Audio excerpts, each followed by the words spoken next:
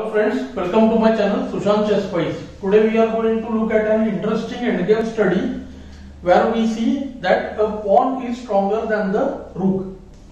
So it's really going to be interesting because see there will be a very rare case when we will see that the pawn is going to outpower the rook. Of course, king and pawn are together here and we see that the black king is very badly placed. So this is a very interesting study uh, white to play and win. So it has got various interesting elements. Let's see what is the threat now. If black was on his move, black could just play rook d6 and take the pawn and the game will be drawn. So white has to play the move c7 which is forced. Now it looks like what will happen the pawn will win by force. Nothing much is there. But black has series of checks which are going to annoy annoy white. So rook d6 check. Now see if king moves to b7 then rook pins the pawn and the pawn will be taken game will be drawn. Same happens to the move king a7. If the white king moves away from the c6 square that is to a5 then just rook comes to c6 and captures the pawn.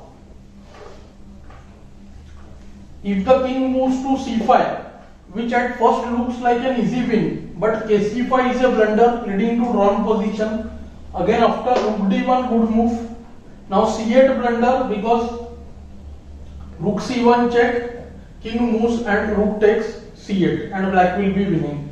So white will have to play the move kb6 or kc6 when after rook c1, kb7 and we can see that rook can easily be even for the pawn.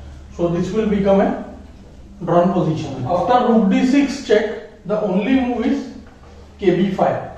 Uh, black again gives rook d5 check. Now we see that white has to find a way to avoid these checks. But the main problem is moment he comes to the c file, black has got the move rook d1 and then rook c1 check and the pawn is either being taken for free or the rook can be given up for the pawn. So white has to avoid these checks smartly. Okay. So king b4 forced. Again he cannot allow rook c5. So rook d4 check again. King moves to b3 and now rook d3 check. Note that black has no other option but to give check. The rook is placed in such a bad way that it cannot go to the last rank and control the queening square because rook d8 then just cd8. So once again rook d3 check. So so far we can see from the square b6 to b3 all the moves were allowed. These moves were more or less forced. Now after rook d3 check white goes kc2. So this is where at first it looks like the position is over now. What is there? Because wherever the rook moves, the pawn will become queen, and queen versus rook is usually an easy win. Especially here because the black king is very badly placed, it's fixed in the corner already. But here black has a last try. Black plays the move rook d4. Now see, if c8 equal to queen, then the winning position is ruined because of rook c4 check. See, this was black's dangerous trap. Now rook is given up, forced to take qc4, otherwise losing. And after qc4, black has managed to create a stalemate position. Okay. So this was an interesting trap by black. So now it looks like what could be the way. But there is an interesting move c8 equal to rook and what we see because of the bad king placing now the rook threatens rook a8 check.